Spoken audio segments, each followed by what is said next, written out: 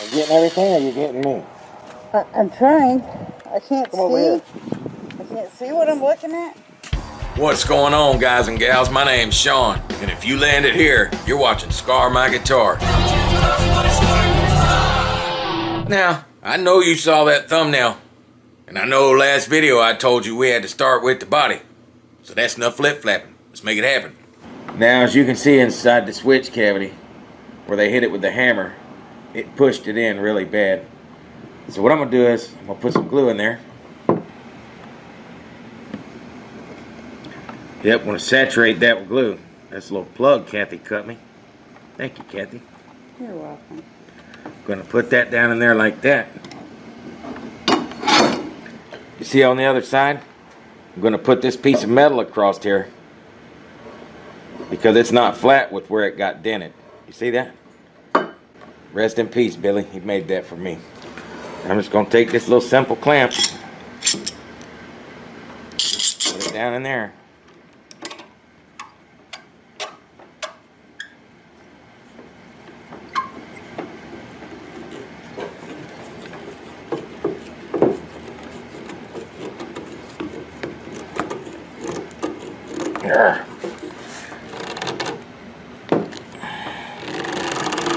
Come back and check that in a minute. While this is drying, we're gonna come over here. We're gonna dress this giant split in the body right here. It goes all the way through the body. Brad showed it in his little section of the video. But if you're like me, do this all the time, you've got what I call the opener upper 5000. You just open her up.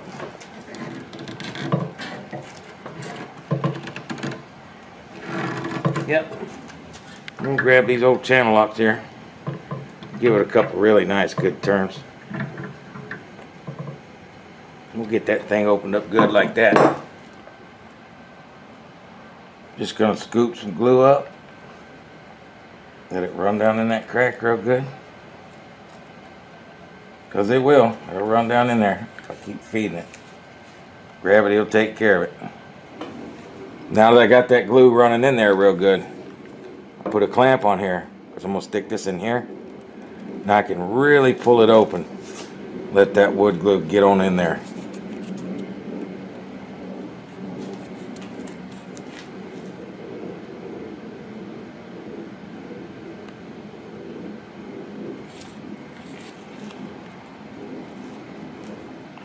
Because it does. It needs to go on way in there.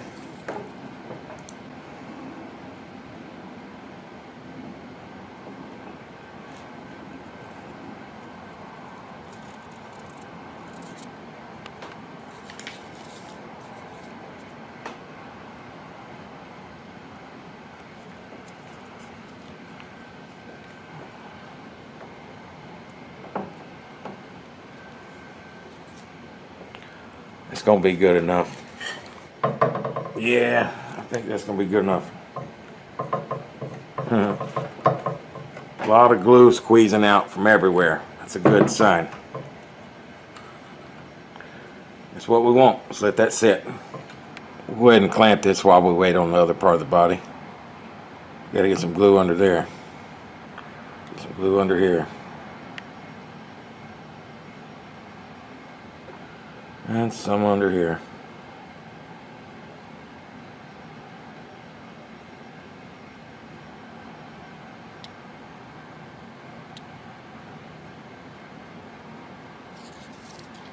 Again, we'll let gravity take its course for a few seconds. Let's go ahead and clamp this down right here. We'll clamp this one down here.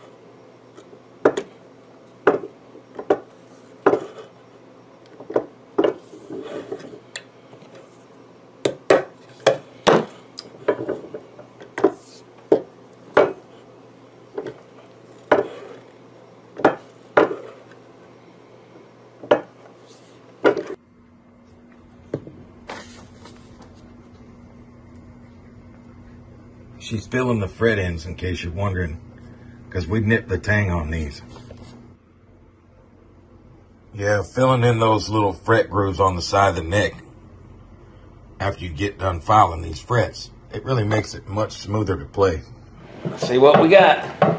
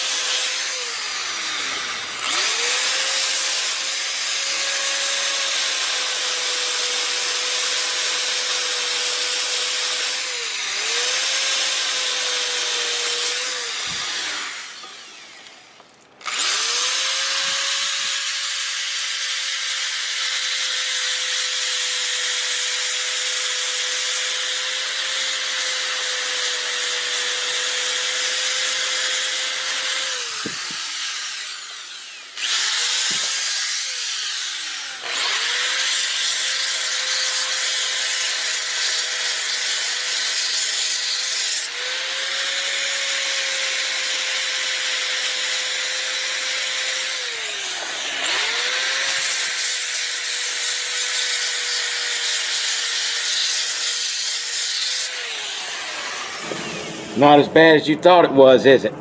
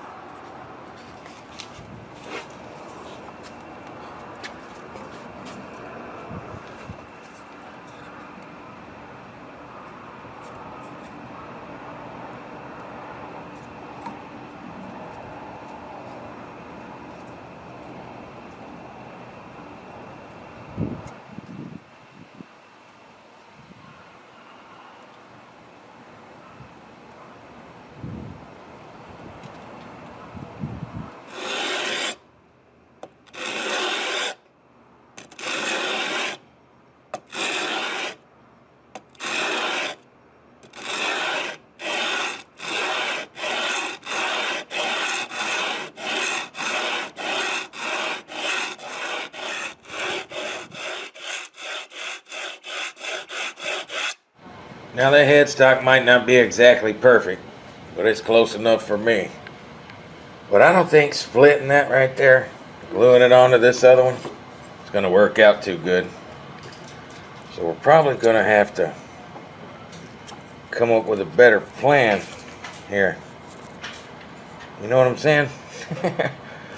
Since I got this old material for the headstock too. I even got the little gold leaf if we want to put it on there. Now, hang on just a dang minute there, Sean. You know, I've been thinking uh, it would be cool to have Gibson back on that headstock, maybe in one way, but in another way, it's not cool because, you know what? They disowned that guitar when they threw it away and had Guitar Center beat it up with a hammer. So I don't think Gibson deserves its name on that headstock anymore. So if you want to put something else on there, man, I'm all for it. You see that? You see that Gibson right there, Sean? You see that Gibson? That Gibson right there is from 1955. You see that Gibson right there?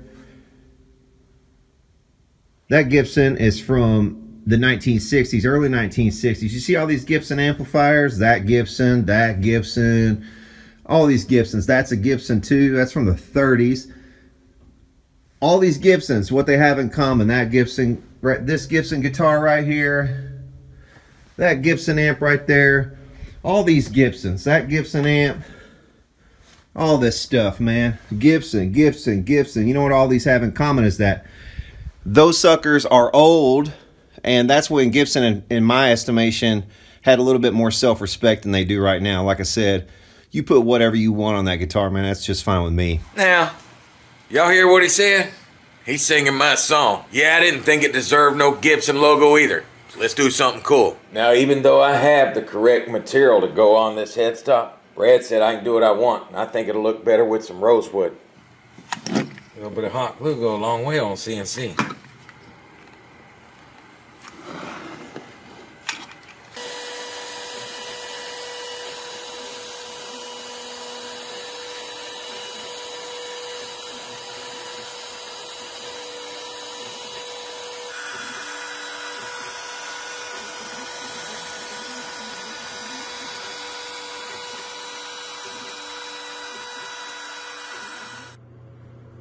Yeah, that's looking a lot better there, I'm thinking. Think we can work with that just fine. now, I'm thinking that's what we want right there. It's looking pretty dang good. Now, it ain't glued on there. Nothing's lined up right. It's just on there. But let's make that happen.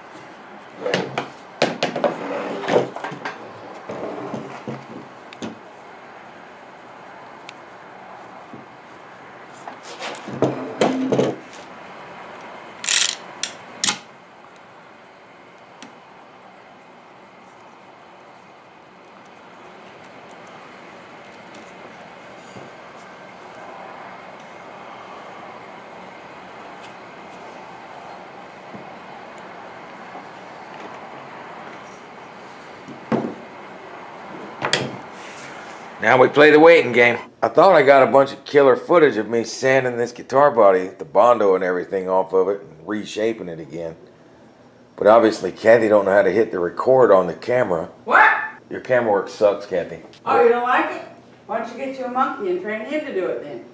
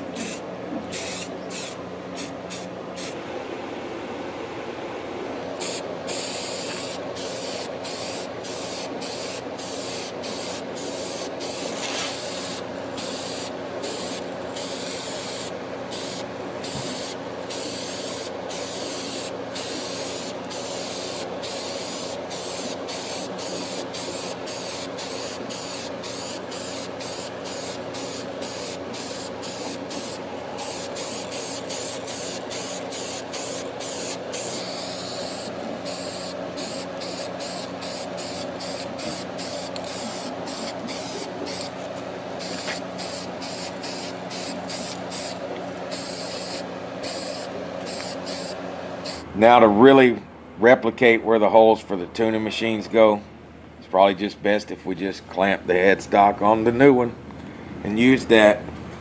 Probably help us prevent tear out the way I have it on here. Let's see.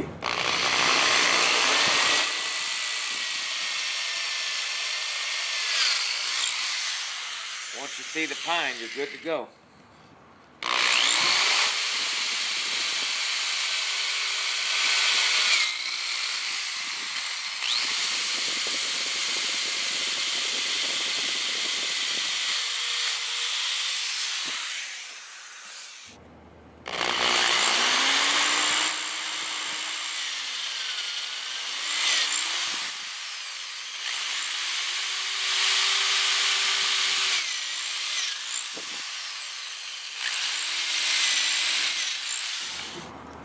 See what we're working with here.